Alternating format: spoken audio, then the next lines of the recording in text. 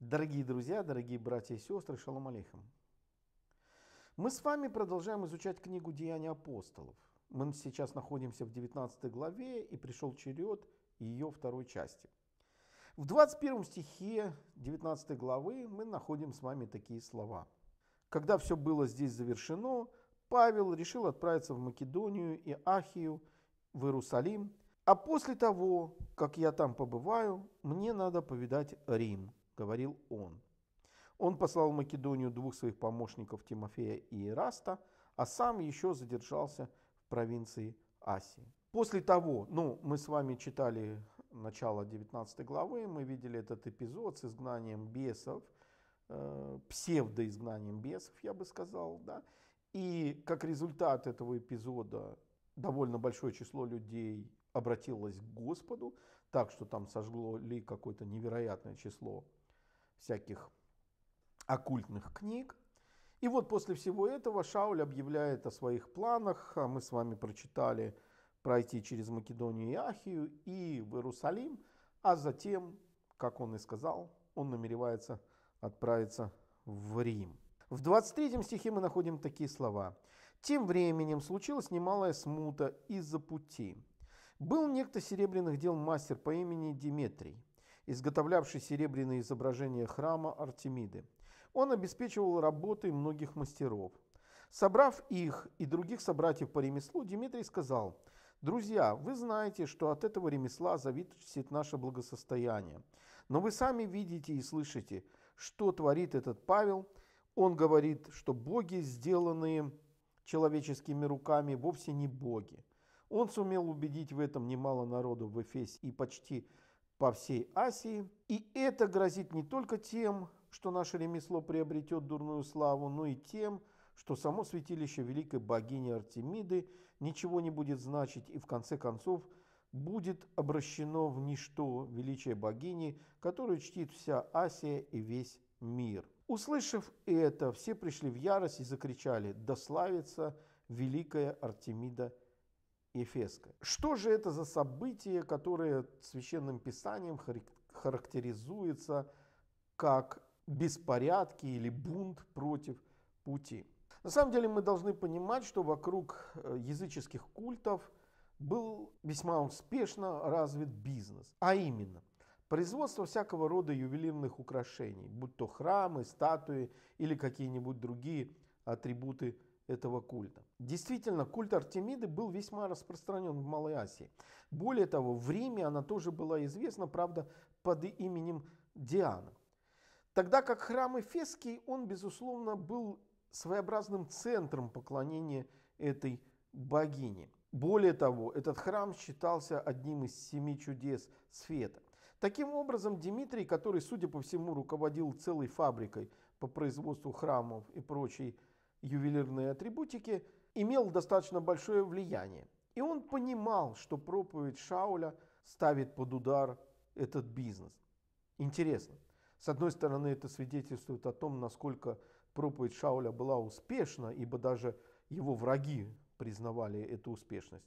С другой стороны, мы с вами видим, как интересно получается, когда люди маскируют свои бизнес-интересы под религиозные, философские или, может быть, политические разногласия. В 28 стихе мы с вами прочитали, услышав это, они пришли в ярость и заревели. Велика Артемида Ефеская. Эти люди пришли в ярость. Они неистовали. Они бунтовали.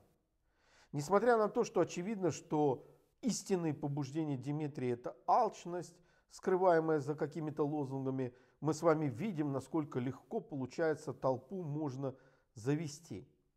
Они тут же кинулись искать виноватых. Мы с вами читаем дальше такие слова. Волнение охватило весь город. Все дружно устремились в театр, потащив туда спутников Павла, Македонян Гая и Аристарха. Павел хотел выйти к народу сам, но его не пустили ученики – Кроме того, кое-кто из влиятельных в этом городе граждан, друзей Павла, передал ему просьбу не появляться в театре. В собрании тем временем царила полная неразбериха. Они, одни кричали одно, другие другое, большинство даже не знало, зачем они здесь собрались. Кто-то из толпы потребовал от Александра, его вытолкнули вперед иудеи, объяснить народу, что здесь происходит. Александр сделал знак рукой, хотел начать оправдываться, но, узнав, что он иудей, все в один голос закричали «Да славится великая Артемида Ефесская!» и целых два часа не умолкали. Разумеется, как только люди начали искать козла отпущения, они нашли. Нашли двух человек, одного из которых зовут Гай, другого и Аристарх. Имена указывают на возможное нееврейское происхождение, но все-таки мне кажется, что эти люди были евреями. Почему? Потому что в них евреев узнали. Как мы с вами знаем, еврейский народ отличается элементами одежды, и, видимо, по этим элементам их и приняли. Шауль хотел прийти к людям, ему не дали возможность это сделать, обратившись к нему с просьбой. Но я хочу обратить ваше внимание на другой момент. Мы с вами прочитали такие слова. Одни кричали одно, а другие другое, и большая часть не знала, зачем собрались. Интересно, оказывается, не только русский бунт бывает бессмысленным и беспощадным. Наверное, все бунты такие, ибо люди, пришедшие туда, орущие, требующие чего-то, в принципе даже не знали, зачем они пришли и что они здесь делают. Это очень характерное изображение бестолковости подобных мятежных собраний. Более того, когда в качестве адвоката для этих людей был предложен Александр, видимо, скорее всего, он был действительно адвокатом по профессии, как только они узнали в нем еврея, они стали еще сильнее возмущаться. И мы с вами прочитали в 34 стихе, но как только выяснилось, что он еврей, все стали кричать в один голос «Велика Артемида Ефесская», и это продолжалось около двух часов. Этот текст любопытен не только тем фактом, что он подчеркивает антисемитские настроения людей, живущих в древнем мире.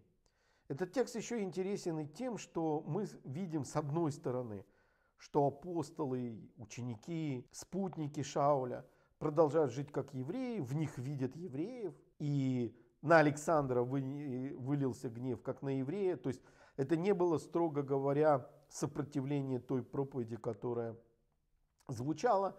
Это было просто антисемитская выходка. С другой стороны, вот какая интересная деталь в конце нашего текста, который мы с вами прочитали сейчас.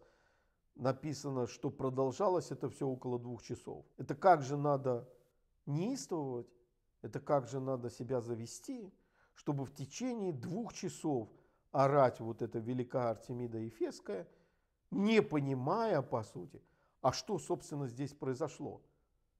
Ибо мы с вами прочитали – Александру даже не дали возможность что-либо сказать в свое оправдание. Дальше мы с вами читаем такие слова. В конце концов городской секретарь утихомирил толпу. «Граждане Ефеса», — сказал он, — «если хоть один человек, которому не было бы известно, что город Эфес является хранителем храма великой богини Артемиды и ее священное изображение, упавшего с неба. Никто этого не оспаривает. Итак, вам надо успокоиться и не допускать опрометчивых поступков. Вы привели сюда этих людей, они не ограбили ни храма, не хулили ни вашу богиню. Итак, если Димитрий с мастерами кого-то в чем-то обвиняет, для этого есть суды и власти. Пусть обратятся с иском туда. А если вы требуете чего-то большего, то дело будет разрешено на законно созванном собрании граждан. Иначе мы рискуем, что из-за сегодняшнего события нас обвинят в мятеже – потому что для этого сборища нет никаких оснований, и мы ничего не сможем привести в свое оправдание. И с этими словами он распустил собрание. Тоже очень интересный момент. Получается, что человек, который здесь называется городским секретарем, по сути понял, что проблема высосана из пальца и выступает защитником Шауля и его спутников. Разумеется, он руководствовался какими-то чисто своими соображениями. Он понимал, что если так будет продолжаться и дальше, то это не останется незамеченным у римлян. А это значит, что наказание Рима будет жестоким и беспощадным. Поэтому он всех призвал решать все в законном поле. Для этого есть все возможности, есть суды, есть городской совет. Пожалуйста, действуйте, если у вас есть какие-либо претензии. Он интересный, здесь есть интересный момент, что упоминается э, статуя, которая упала с неба, на самом деле в греческом языке там стоит слово камень.